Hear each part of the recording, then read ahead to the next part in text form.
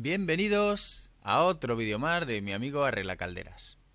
Y hoy voy a hacer un vídeo sobre la Ariston Basic. Y consta de dos partes. La primera es la, forma de manejar la caldera como, como usuario, para qué sirve cada botón. Y luego la otra parte es para ya los, los que están iniciándose en el mundo de la reparación y del gas.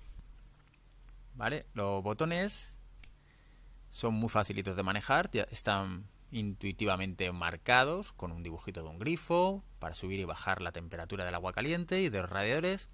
El del agua caliente le tiene un poquitín alto, para mi gusto. Lo suyo es que lo ponga a la mitad o incluso menos. No le falta mucho más, porque si lo subes mucho, en algunas ocasiones no te va a llegar a esa temperatura. No tiene fuerza suficiente en pleno invierno. En calefacción, con que lo dejes a la mitad, también igual, te tiene que funcionar perfectamente. El botón cuadrado primero que te encuentras, que tiene como una luz roja encima, ese es el de reseteo en caso de fallo en el encendido, por falta de gas o por otros temas que luego voy a explicar. El botón que tiene el dibujito del grifo encendido arriba, o sea, el dibujito del grifo arriba y el radiador abajo, ese es para la selección de calefacción y agua caliente. Y la luz roja, que ya se ha quitado, es para, para indicarte que, está encendida o apagada, no que tenga algún problema. Aquí abajo tienes la llave de, corte del gas. El tubito ese que asoma negro a la izquierda es la válvula de seguridad que te expulsa lo que sobra. Y ahí tienes un rearme por temperatura. Este modelo tenía el rearme aquí abajo. Y es por si le ponemos le damos demasiada fuerza al aparato y no, y no da buen rendimiento, te puede saturar.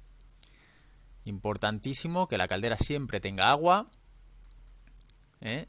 Marca la aguja blanca, no la roja. La roja es para despistar.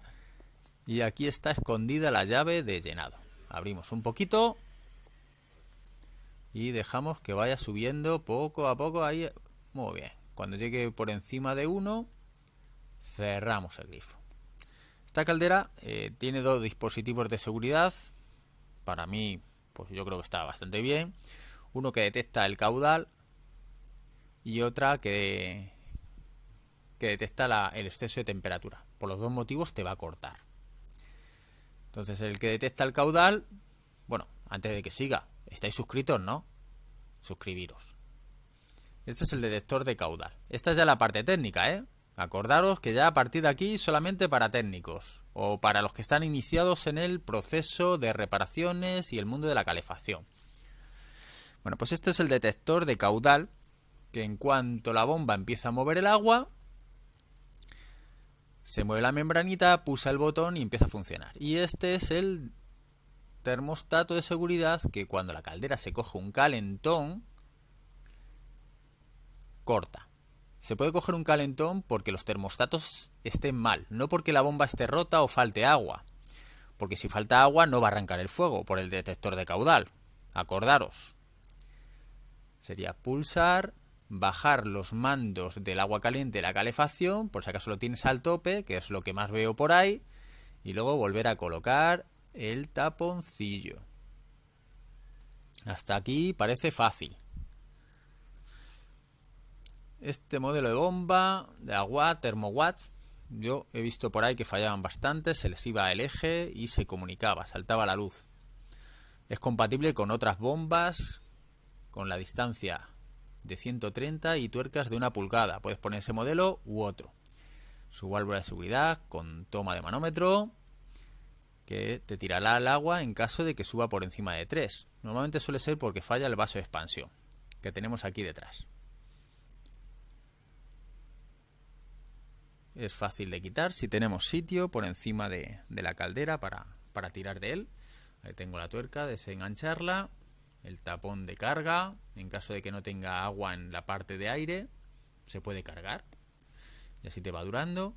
Y es una caldera muy simple, tiene dos termostatos de doble conmutada, uno de ellos va aquí alojado y el termostato de seguridad pues va ahí.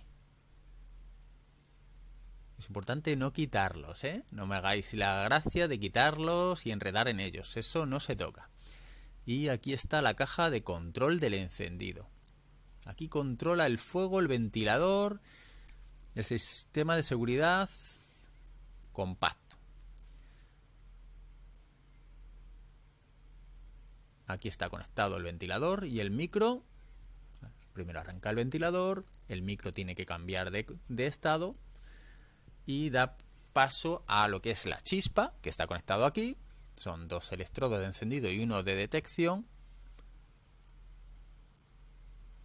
Y da ya eh, la apertura de la válvula de gas. Aquí también tiene la conexión de fusibles y la salida para alarma, para la luz roja redondita que sale. Y el pulsador, cuando se te enciende la luz roja, puede ser por, por varios motivos. Esta es la conexión de la válvula de gas. Esto nos sirve muy bien para comprobar los voltajes, si sale voltaje o no en el proceso de encendido. Para saber si es la caja o la válvula de gas. Estamos entendiendo que esto es para gente que ya trabaja en, el gremio de gas, que tiene cuidado, ¿vale? ¿Y qué puede detectar aquí la cajita? Bueno, pues la, la cajita nos va a detectar si hay buena salida de humos. En caso de que el ventilador arranque, tiene que sacar muy bien todos los humitos y con ayuda del presostato, este de aquí, si no están taponados los tubitos o el venturi está mal, que le haya caído algo de basura, eh, algo de ceniza que tenga, agua, que a veces cae agüita y te tapona los tubitos, pues una vez que ya ha detectado que evacúa bien los humos es cuando empieza el proceso de arranque de la llama. Y tiene que repartir bien, de lado a lado.